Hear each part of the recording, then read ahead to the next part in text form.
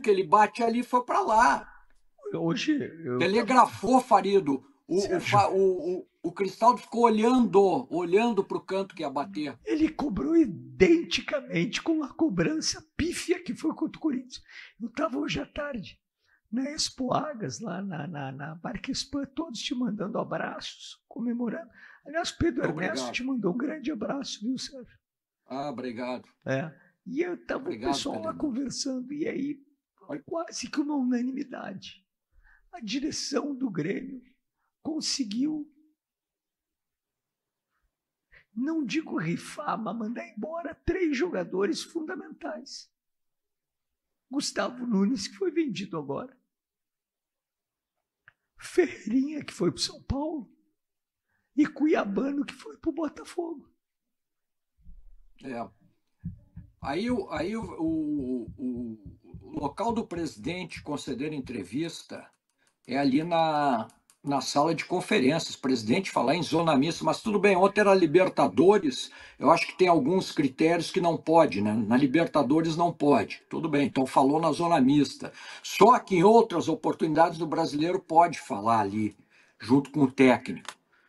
Né? Então, pô, para ter um. Eu acho, eu acho muito importante, Farid, a, a palavra do presidente, especialmente nesses momentos conturbados presidente tem que buscar uma comunicação direta. Sérgio. Duas eliminações. É. Duas. É.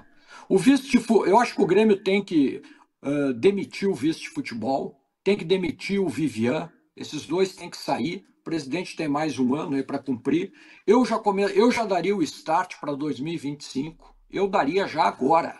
Começaria já agora. E tem alguns jogadores que não podem mais jogar no Grêmio. Acabou o ciclo do Pedro Jeromel, gente. Acabou, Acabou. o ciclo do Walter Kahneman. Acabou. Assim Rodrigo, como o nosso ciclo.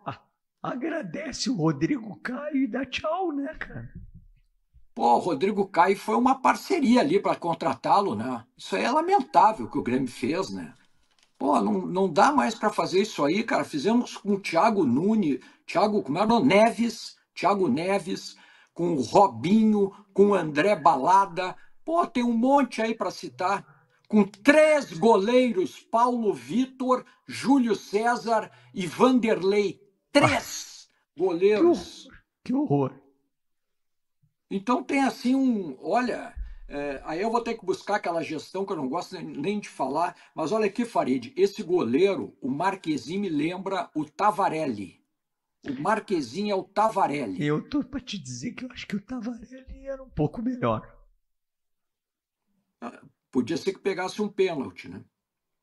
É? Olha, eu, eu tive que ontem, meu desespero era tão grande que eu tive que recorrer ao Grando, ao Grande e ao Breno. Eu já estou achando que se o Grêmio, o Grando voltou? Sim. O Grêmio pode utilizá-lo ou não? Tem que estar tá escrito. Acho que não, né? Tem que escrever, né? Tem que estar tá no bid. Mas ele não está escrito. Ele rompeu lá com o Cruzeiro, tudo. Bom, Sim. enfim. Eu não sei então se o Breno, que eu tenho certeza, já não é melhor que esses caras aí. Pois é, Sérgio. Sérgio, obrigado pela Olha aqui, ó.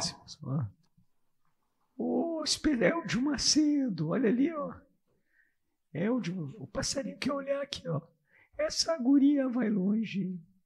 Tá dando um pouquinho ali, ó. Ah, boa. Eu, Eldio Macedo, Sérgio. Agora eu vou ver se eu apago. Eu vou desligar aqui, ó, vai melhorar. Melhorou? Melhorou.